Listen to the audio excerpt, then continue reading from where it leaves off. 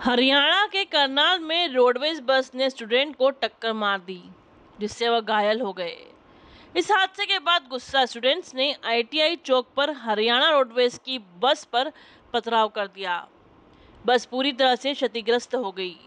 बस की खिड़कियाँ टूट गई। रेवाड़ी डिपो की यह बस चंडीगढ़ जा रही थी। घायल छात्र को करनाल के कल्पना चावला मेडिकल कॉलेज में भर्ती कराया है। घटना की सूचना के बाद पुलिस भी मौके पर पहुँची। पुलिस मामले की जाँच में जुटी है। आईटीआई के स्टूडेंट्स का आरोप है कि रोडवेज़ के ड्राइवर आईटीआई चौक पर छात्रों को देखकर बस नहीं रोकते। बुधवार को एक छात्र अपनी साइड में खड़ा हुआ था। इसी दौरान ड्राइवर ने उसको सीधी टक्कर मार दी। बस का टायर स्टूडेंट के पैर पर चढ़ गया। इससे वह गंभीर घायल हो गया।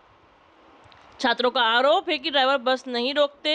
अगर स्टूडेंट बस में बैठे भी तो कंडक्टर अभद्र व्यवहार करते हैं। ड्राइवर बस को रोकने की बजाय स्पीड बढ़ा लेते हैं।